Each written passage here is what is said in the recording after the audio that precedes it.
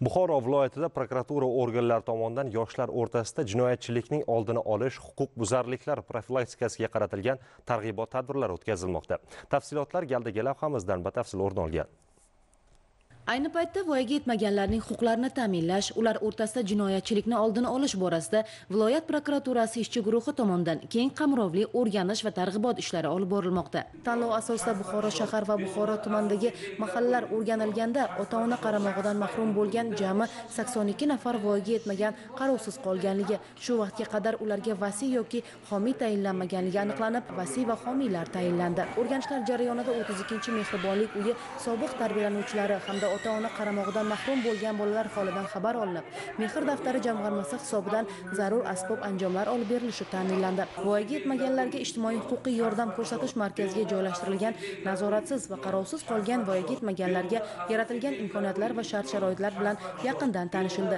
Markazda bugungi kunda yigirma nafar shundan to'qqiz nafar qiz bolalar saqlanmoqda. Mas'ullar tomonidan ular bilan suhbatlar o'tkazilib oilaviy sharoitlari muhitlari o'rganildi. To'qqiz nafar qiz bolalarning to'rt nafari sportning boks turiga qiziqishi inobatga olinib ularni buxoro shahrida tashkil etilgan sport to'garaklariga jalb qilinishi ta'minlandi. Mana bugun boks zaliga keldik. Murabbiylar va bolalar bilan tanishib bugun trenirovkalarni boshladik hamma buyumlar bilan ta'minlab berdilar. Buxoro shahar hamda buxoro tumanida voyaga yetmaganlar jumladan o'quvchilar jinoyatining oshib borayotganligi ham o'ta tashvishli holat. Viloyat prokuraturasi tomonidan voyaga yetmaganlar o'rtasida sodir bo'ladigan jinoyatlarni oldini olish maqsadida hududlarda profilaktik hisobda turadigan qirq nafar voyaga yetmaganlar.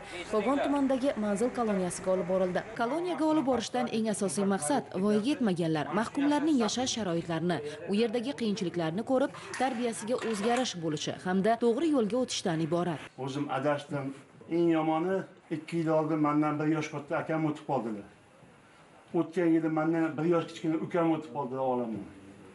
Qizim turmushga chiqyapti o'g'lim o'ylayapti. Hatto nevaramni ko'rolmayman. Faqat eshitaman eshitaman bolalarim bu joy kelmaydi.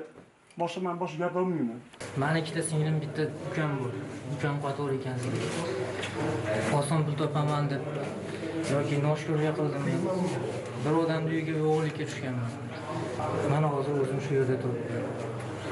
Onam ikkinchi guruh nogironligi dadam bu yerda bu ko'rgilarga chidolmasdan olamdan o'tdi oxirgi manzilga ham kuzatilman shularga eng yomon maslahatim bu yo'llarga biz kogon shahar huquqbuzarlik profilaktikada turuvchi yoshlar shunday xulosa qildikki shaxsan o'zim kelgusida bunday xato qilmaslikka va yaxshi yo'llarda yurishda va'da beraman. Mazkur o'rganishlar viloyatning barcha tuman va shaharlarida o'tkazilishi davom ettirilib voyaga yetmaganlarning huquqlari ta'minlanishi kafolatlanadi.